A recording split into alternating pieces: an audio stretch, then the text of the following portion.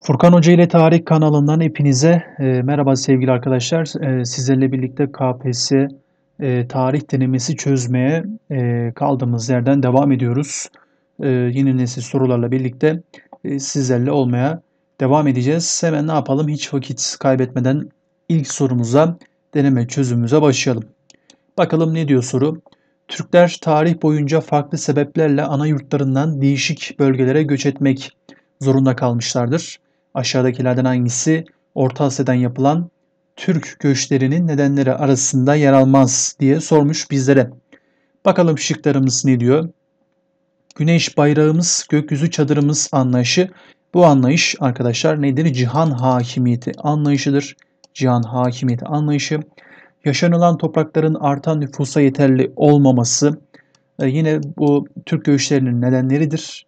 E, boylar arası hakimiyet mücadelesi ve e, bunun sonucunda göç eden boyların birbirini etkilemesi, otlak ve tarım alanlarının daralması arkadaşlar bunun dışında salgın hastalıkların e, yaşanması, salgın hayvan hastalıklarının daha doğrusu yaşanması, dış baskıların olması ki bu dönemde Çin, Moğol gibi devletlerin baskıları Orta Asya'dan yapılan Türk göçlerin nedenleridir. Ama Avrupalı toplumların coğrafi keşifleri gerçekleştirmesi ile e, Türk göçleri arasında bir bağlantı yoktur. Cevap o yüzden E şıkkı oldu. Geldik ikinci soruya. Nizam-ı Mülk'ün Siyasetname adlı eserinde şeklinde tanımladığı sistemi sormuş bize. Bakalım e, ne demiş Nizam-ı Mülk. Devlete ait olan ve kimsenin mülkiyetinde bulunmayan topraklardan elde edilen vergi ve gelirlerin askeri ve sivil devlet görevlerine maaş veya hizmet karşılığı verilmesi. Arkadaşlar bu sistemi biz ne diyoruz? İkta sistemini adını veriyoruz. Nizam-ı Mülk biliyorsunuz ki hem Melikşah'a hem de Sultan Alparslan'a vezirlik yapmış bir e, kişiliktir. E, Nizam-ı Mülk önemlidir. Siyasetname adlı eseri vardır. Ve burada tanımladığı e, sistem de ikta sistemidir. Vakıf sistemi neydi? Gençler, e, arkadaşlar, vakıf sistemi İslam hukukuna göre herhangi bir kişinin e, mülklerinin veya gelirlerinin bir kısmının e, kamu yararı için süresiz olarak kullanılması sistemidir. İltizam sistemi neydi? Osmanlı Devleti'nin sıcak para yani nakit para ihtiyacını karşılamak için salyaneli eyaletlerin gelirlerini birkaç yıllığına açık artırma usulüne göre ihale etme sistemiydi. Devşirme sistemi neydi? Osmanlı'da e, çeşitli hizmetlerde kullanılmak üzere Osmanlı tebaası bazı Hristiyan çocukları ne yapıyordu? Bir kanun dahilinde topluyordu ve bu çocukları Türk İslam kültürüne göre yetiştiriyordu. Ee, burada çok zeki olanlar Enderun'a arkadaşlar, e, diğerleri ise Kapıkulu Ocağı'na ne yapıyordu? Giriş yapıyordu. Veraset sistemi de ülke hanedan üyelerinin ortak malıdır anlayışına verilen bir isimdi. Geldik üçüncü soruya. Bakalım üçüncü soru ne diyor? Aşağıdaki haritada Malazgirt Savaşı sonucunda Anadolu'da kurulan birinci dönem Türk beylikleri ile ilgili e, ilgili numaralar verilmiştir diyor. E, yukarıdaki haritada numaran, numaralandırılmış yerler e, devletlerle eşleştirildiğinde hangisi dışarıda kalır diye sormuş. Şimdi bir numara e, bir numara neresi? Arkadaşlar danışmetlerin olduğu bölge Sivas Kayseri. Buraya bir yazıyorum. E, iki numara neresi? İki numara bakıldığı zaman Mengücekler Erzincan bölgesi. Arkadaşlar buraya da 2 yazdım. Bunlar gitti. 3 e, numara neresi? 3 numara arkadaşlar 3 numarada Saltukların yaşamış olduğu bölge. Neresi? Erzurum civarı. Bu da gitti. Buraya da 3 yazdım. E, 4 numara ise Artukların yaşamış olduğu bölge. E, burası neresi? Mardin, Harput, Diyarbakır çevresidir. Burada 4 yazdım. Ve cevabımız ne oldu? Harzemşahlar olmuş oldu. Harzemşahlar zaten Malagis Savaşı sonucunda Anadolu'da kurulan e, bir beylik değildir. Harzemşahlar Ön Asya'da kurulmuş bir beyliktir. Geldik dördüncü soruya. Sultanı iklimi Rum unvanına sahip olan 1. Beyazıt'ın oğulları arasında taht kavgalarının yaşandığı Fetret devri hangisinin sonucunda başlamıştır? Fetret devri arkadaşlar tabii ki de 1402 Ankara Savaşı'nın sonucunda e, ne yapmıştır? Başlamıştır. 1413 yılına kadar sürmüştür bu Fetret devri. E, Yıldırım'ın oğulları arasında İsa, Musa, Süleyman, Mehmet Çelebi arasında ve Mehmet Çelebi e, ne yapacaktır? Kardeşlerini bertaraf edecektir ve devletin ikinci kurucusu olarak adlandırılacaktır. E, Nibolu Savaşı 1396'da Haçlılarla yaptık. Birinci Kosova Savaşı 1389 Haçlılarla, Varna Savaşı 1444 Haçlılarla, Küsedağ Savaşı ise Anadolu Selçuklu ile Moğollar arasında 1243 tarihinde yaşandı. Geldik 5'e. Ne diyor soru? Osmanlı ordusunun etkin bir unsur olan Yeniçeriler savaşlarda Osmanlı Devleti'ni üstün kılan kuvvetti. Bunun yanında Yeniçeriler padişahın merkeziyetçi otoritesinin başlıca aracı ve destekçisi olmuştu. Osmanlı Devleti'nde Yeniçerilerin 3 ayda bir aldıkları maaşa ne isim verilir diye sormuş. Bu maaşa ne diyoruz? Ulufe adını vermekteyiz. Culus neydi? Arkadaşlar e, Osmanlı'da şehzadelerin tahta geçmesine verilen isimdir. Aynı zamanda arkadaşlar başka bir anlamı daha var. E, padişahlar ne yapıyordu? tahta geçtiğinde culus bahşişi dağıtıyordu. İcazet neydi? arkadaşlar bu da günümüzdeki diploma gibi düşünebilirsiniz. Pençik sistemi bu da beşte bir anlamına geliyor. Osmanlı'da vergi ve asker kaynaklarından birini oluşturan bir uygulamadır. Gülbank ise Yeniçerilerin bazı törenlerde e, arkadaşlar okudukları duadır Gülbank'ta. Burada cevap Ulufi oldu. 6'dayız. Osmanlı Devleti'nde yukarıda bazı özellikleri verilen devlet görevlisini sormuş bize. Padişahın vekili olma, vezir azam olarak da adlandırılma, 2. Mehmet'ten itibaren e, Divan-ı Hümayun'a başkanlık yapma, padişahın mührünü taşıma, 2. Mahmut döneminde baş vekalete dönüştürülme demiş. Kimdir bu? Tabii ki de sadrazamdır. Burada cevabımız E şıkkı olmuş oldu. Ayrıca Serdar Ekrem unvanıyla da e, biliyorsunuz ki sefere katılıyor padişah katılmadığı zaman. Geldik 7'ye. Osmanlı Devleti'nde kitapların parçalanmasını engellemek ve korunmasını sağlamak amacıyla ciltleme işlemi yapılırdı. Bu ciltleme işiyle uğraşanlara ne isim veriliyor? Buna biz ne diyoruz? Mücellit adını veriyoruz arkadaşlar müzehip tesip sanatıyla uğraşanlara verilen isimdir. Mütevelli vakıfların yönetim kuruluna verilen isimdir. Ebruzen Ebru sanatıyla uğraşan kişilere verilen isimdir. Nakkaş'ta e, minyatür sanatıyla uğraşan kişilere verilen isimdir. Hangisi Osmanlı Devleti'nde ticaret yapılan mekanlardan biri değildir diye sormuş. Osmanlı'da Kapan, Bedesten, Arastahan bunlar ticaret mekanlarıdır ama imaret nedir arkadaşlar?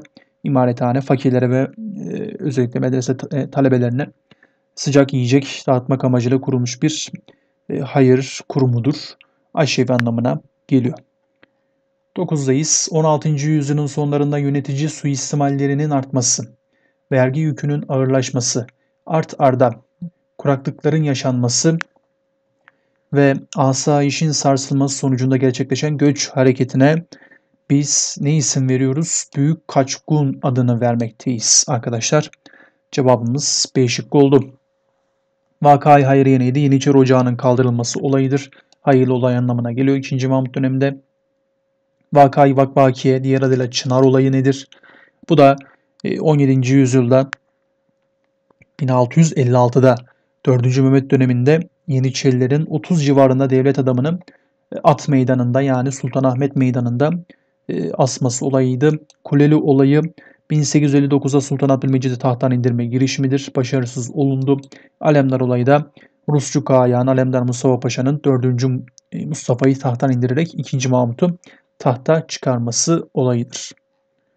Ondayız. 28 Mehmet Çelebi'nin Paris elçi olarak gönderilmesi, ilk özel Türk matbaasının İbrahim Müteferrika ve Said Efendi tarafından kurulması, geleneksel Osmanlı mimarisinin dışına çıkılmaya başlanması. E, bu dönem hangi dönemdir? Tabii ki de Lale devridir arkadaşlar.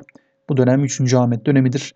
E, Lale devri biliyorsunuz ki 1718-1730 yılları arasıdır. E, patronu Halil isyanıyla bu dönem sona eriyor. Geldik 11'e.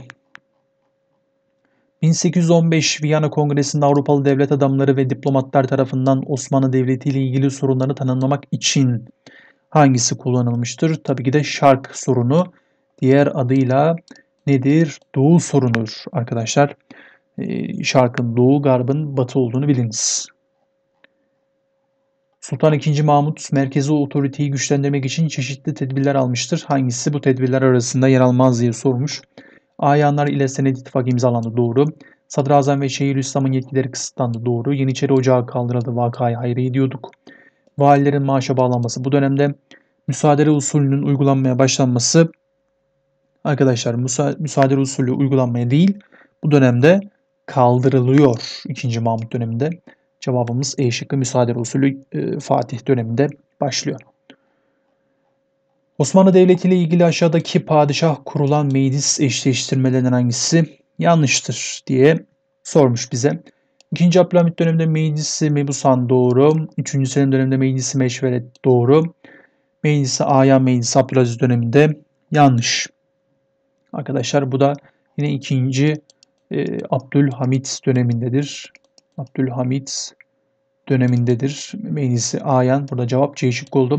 İkinci Mahmut döneminde meclisi vala yahkam adiliye doğru. Abdülmecit döneminde meclisi ali tanz, e, tanzimat doğrudur. Tarih öğretmeni Akif Bey sınıfında 2. Meşrutiyet döneminin 1908-1918 yıllar arasını kapsamaktadır. Sözünü söylemiş ve sınıftaki öğrencilerden bu dönemde yaşanan gelişmelere örnek vermelerini istemiştir. Öğrencilerden e, cevaplarını vermişlerdir. Hangisi yanlış cevap vermiştir diye sormuş. 1908-1918. Baktığımız zaman 31 Mart vakası hangi yıldaydı? 1909. Trablusgarp Savaşı'nın kaybedilmesi 1912. Bunun sonucunda Uşa Anlaşması imzalanıyordu. Babali baskının yaşanması 1913 senesinde Babali baskını birlikte Kamil Paşa hükümetinin yerine Mahmut Şevket Paşa hükümeti geçmişti. Birinci Balkan Savaşı, Savaşı'nın sonucunda Arnavutluğun bağımsızlığını kazanması 1912'dir. Mustafa Kemal'in Şam'da Vatan ve Hürriyet Cemiyeti'ni kurması kaçtır? 1905 senesidir arkadaşlar. E buna göre kim yanlış cevap vermiş? Mercan yanlış cevap vermiş. Cevap A şıkkı oldu. Güzel sorudur. Kronoloji bilginizi ölçüyor bu soru. Birinci Dünya Savaşı sırasında e, cephelerin hangilerinin Osmanlı-İngiliz çatışması yaşanmıştır? Arkadaşlar e, bakıldığı zaman e, Kafkas cephesi hariç diğerlerini kimle yapıyoruz? İngilizlerle yapıyoruz arkadaşlar. Cevap E şıkkı oldu. Milli mücadele döneminde düzenli ordu kurulmadan önce Anadolu'daki işgallere karşı halkın örgütlenerek kurduğu yerel kuvvetlerin genel adını sormuş soru bize. Bu kuvvetlerin genel adı Kuvayi Milli'dir. Arkadaşlar Kuvayi İnzibatiye neydi? Hilafet ya da diğer adıyla halifelik ordusu anlamına geliyor. İstanbul hükümetinin Kuvayi Milliye karşı kurmuş olduğu bir birliktir. Kuvayi Muhammedi ise Ahmet Anzavur'a bağlı birliklerin adıdır. Balıkesir Çanakkale dolaylarında İntikam alayları Ermeniler tarafından Adana çevresinde kurulan birliklerdir. Hareket ordusu ise Selanik'te bulunan arkadaşlar e, ordunun 31 Mart olayını e, bastırmasıdır. E, bastırma olayı demeyelim de bastıran birliktir hareket ordusu. Başında Mahmut Şevket Paşa var. Mustafa Kemal de görev alıyor. Geldik 17'ye. Hakimiyeti Milliye gazetesinde 9 Ağustos 1921'de yer alan bildiri hangisinin sonucudur demiş. Bakalım bildiri ne diyor bize. Halkın ve tüccarların ellerindeki yiyecek ve giyim malzemelerinin miktarını gösteren bir beyanname hazırlayıp ilgili komisyona vermelerini talep eden ve beyanname vermeyenlerin istiklal mahkemelerinde cezalandırılacağını duyuran demiş. Bu bilgi, e, bu bildiri nedir? Tekalifi milliye emirleridir arkadaşlar. E, cevabımız burada değişik oldu. 7-8 Ağustos 1921'de Mustafa Kemal Paşa tarafından yayınlanıyor biliyorsunuz. Hangisi Türkiye Büyük Millet Meclisi'nin 1921'de imzaladığı anlaşmalardan biri değildir? 1921'de Ankara Anlaşması'nı imzaladık. Afgan Dostluk Anlaşması'nı imzaladık. Moskova imzaladık, Kars'ı imzaladık ama Gümrü Anlaşması'nı 1920 senesinde imzaladık Ermenistan'la. Türk eğitim ve kültür hayatı ile ilgili e, gelişmelerden hangisi Atatürk dönemine ait değildir diye sormuş. Atatürk dönemi 1923-38 yıllar arasını kapsar. E, bu dönemde e, kadro dergisi çıkarılıyor. Doğru mu? Doğru. 1932'de. Özsoy Operası 1934'te. Dil Tarih Coğrafya Fakültesi 1935'te, Milli Musiki ve Temsil Akademisi 1935'tedir. Ama Ankara Üniversitesi 1946'da İsmet İnönü dönemindedir. Cevap A şıkkı oldu. Geldik 20'ye. 13 Şubat 1925'te Türkiye'nin doğusuna Şeyh Said isyanı çıkmıştır. Bu isyanla ilgili hangisi kapatılmıştır? Ne kapatılıyor arkadaşlar? Terakkiperver Cumhuriyet Fırkası. Bu isyanda arkadaşlar e, olduğu gerekçesiyle e, ne olacaktır? Kapatılacaktır. E, Türkiye Cumhuriyeti'nin ilk muhalefet partisidir. Terakkiperver Cumhuriyet Fırkası 1924'te kuruluyor biliyorsunuz. Türkiye Cumhuriyeti'nin yukarıdaki uygulamalarından hangileri batılı devletlerle ilişkileri kolaylaştırdığı savunulabilir demiş. E, hafta tatilinin pazar günü alınması ticareti olarak doğru. Ağırlık uzunluk ölçümleri yani kilogram, metre, santimetre, gram gibi gibi ölçüler değiş e, bunlar getiriliyor daha doğrusu. Okka e, arkadaşlar bunlar ne yapılacaktır? Kaldırılacaktır. E, bunlar aşar vergisinin kaldırılmasıyla bu, bu durumun bir ilgisi yoktur. E, bu köylü milletin efendisidir sözü doğrultusunda kaldırılıyor 1925'te. Cevap 1-2 oldu. 1930'lu yıllarda Türkiye'nin devletçi ve milli ekonomik modeli benimsemesinde hangileri etkilidir demiş. Dünya ekonomik krizinin krizinin etkisinden kurtulmak doğru. Ülkenin hızla kalkınması sağlamak doğru. Yabancı sermaye teşvik etmek hayır arkadaşlar. Bu da cevap 1-2 olmuş oldu. Geldik 23. soruya. Bakalım soru ne demiş bizlere. Mustafa Kemal'in sözü hangi ilkeyle doğrudan ilgilidir demiş. Bakalım ne demiş? Efendiler, millet bizi buraya gönderdi. Fakat ömrümüzün sonuna kadar biz burada ve bu milletin idaresini ve hakimiyetini miras kalmış mal gibi e, temsil etmek için toplanmış değiliz demiş Mustafa Kemal. Burada e, Cumhuriyet e, arkadaşlar Cumhuriyetçilikle alakalıdır bu. E, Cumhuriyet biliyorsunuz ki gücünü halktan alan, halk iradesine dayanan bir yönetim şeklidir. Yani yönetenler başa seçimle gelir. Dolayısıyla Mustafa Kemal'in e, soruda verilen sözü doğrudan Cumhuriyetçilik ilkesiyle alakalıdır. Lozan Konferansı'ndan sonra Türk ve İngiliz temsilcilerinin katılımıyla gerçekleşen Haliç Konferansı'nda hangi sorun görüşülmüştür? Tabii ki de hangi sorun?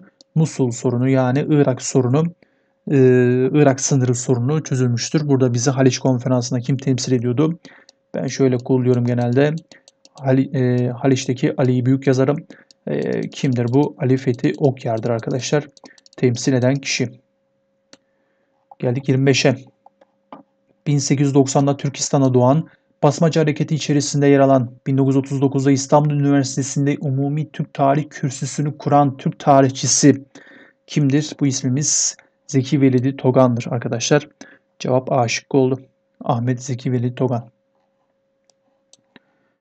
Aşağıdakilerden hangisi 2. Dünya Savaşı sırasında hükümete olağanüstü koşullar karşısında ulusal ekonomiyi ve savunmayı ilgilendiren konularda geniş yetkiler veren düzenlemelerden biridir? Demiş bu nedir? 1940'da çıkarılan e, Milli Koruma Kanunu'dur arkadaşlar. Cevap C şıkkı oldu. 24 Ocak kararları neydi? 1980'de yayınlanmıştır. Özel sektörün desteklenmesi için art arda düzenlemelere gidiliyor. Tahkikat Komisyonu'nun kurulması 1960'da Demokrat Parti tarafından kurulan meclis komisyonudur. Dörtlü takrir e, bu da 45'te Celal Bayar, Refik Koraltan, Adnan Menderes, Fuat Köprülü gibi e, isimler tarafından hazırlanan önergedir. Meclisi Ali İktisat Kararları ise 1927'de yayınlanıyor. Son sorumuzdayız. Bakalım ne diyor soru. 74 Kıbrıs Barış Harekatı sonrasında hangileri yaşanmıştır gelişmelerden? Amerika Türkiye ambargo uyguluyor arkadaşlar bu dönemde. Doğrudur. E, Makarios'un Kıbrıs Cumhuriyeti'nin Cumhurbaşkanı olması bu çok önceki durum. Arkadaşlar 60'ta Türk Mukavemet Teşkilatı'nın faaliyete geçmesi de bu da 1955'te olacaktır. Cevap yalnız bir oldu. Evet. E, bu sorumuzla birlikte sizlerle beraber 27 soruyu çözmüş olduk. Birbirinden özel, birbirinden güzel sorulardı. E, buralardan inşallah karşınıza sorular gelir diyelim ve bir sonraki denemede görüşmek üzere. Kendinize çok çok iyi bakın. Allah'a emanet olun.